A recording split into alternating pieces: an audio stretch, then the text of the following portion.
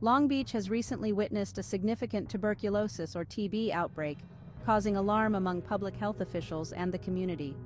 Tuberculosis, a highly infectious disease primarily affecting the lungs, has long been under control in developed nations. However, this recent surge highlights potential vulnerabilities in our public health systems. The city's health department has been quick to respond, initiating immediate testing and contact tracing efforts. Despite these measures, the rapid spread has overwhelmed local health resources, demonstrating the aggressive nature of the disease. Public concern is growing as more cases are confirmed, underlining the urgency of effective intervention.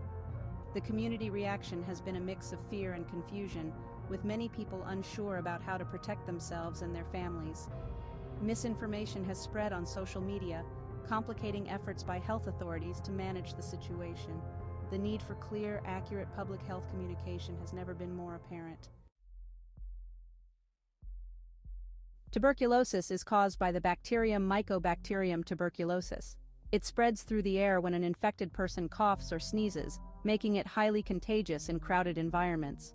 While TB can be deadly, it is preventable and treatable with a course of antibiotics. Globally, TB remains a major health challenge, particularly in densely populated cities and areas with poor healthcare infrastructure. Recent trends have shown a decline in TB cases worldwide thanks to improved healthcare practices and vaccination efforts. However, outbreaks like the one in Long Beach remind us of the disease's persistent threat. In the United States, TB has been largely contained due to stringent public health policies and effective medical treatments. However, the emergence of drug-resistant strains and gaps in healthcare coverage pose ongoing risks. The Long Beach outbreak serves as a wake-up call to address these vulnerabilities.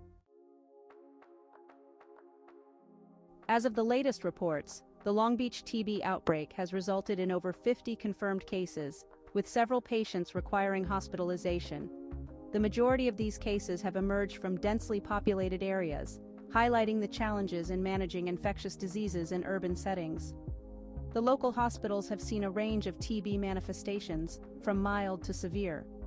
Health professionals are particularly concerned about cases involving drug-resistant TB, which are harder to treat and contain.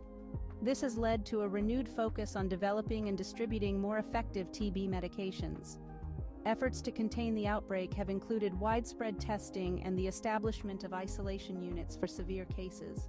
Public health officials are working tirelessly to track down and test individuals who may have been exposed in an effort to halt further spread. Section 4. Factors contributing to the spread in Long Beach. Several factors have contributed to the rapid spread of TB in Long Beach. High population density and inadequate ventilation in many buildings have facilitated the airborne transmission of the disease. These structural issues are common in many urban environments and pose significant challenges for disease containment. Socioeconomic disparities also play a critical role. Vulnerable populations, including the homeless and those with limited access to healthcare, are at greater risk. These groups often face barriers to receiving timely diagnosis and treatment, which can allow TB to spread more widely before it is controlled.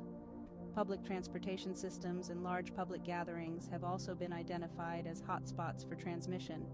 The mobility of the population means that a single infected individual can expose a large number of people, making public awareness and preventive measures crucial.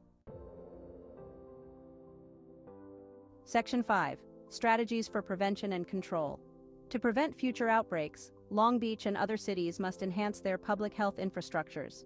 This includes investing in better ventilation systems in public and private buildings, increasing access to healthcare, and ensuring that vulnerable populations receive the support they need.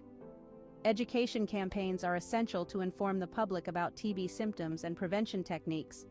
These should be culturally sensitive and available in multiple languages to reach all segments of the community. Additionally, routine screenings in high-risk areas can help detect cases earlier. Improving the tracking and management of TB cases through better data systems will also play a crucial role. Digital health technologies can aid in monitoring disease spread and evaluating the effectiveness of interventions. This approach can provide real-time insights that are critical during an outbreak. Section 6. Conclusion. The path forward. The tuberculosis outbreak in Long Beach is a stark reminder of the ongoing challenges in controlling infectious diseases. It underscores the need for vigilance, robust public health strategies, and community engagement to prevent similar crises in the future.